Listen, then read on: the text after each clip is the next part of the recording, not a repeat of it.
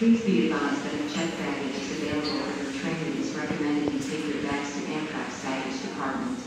Each passenger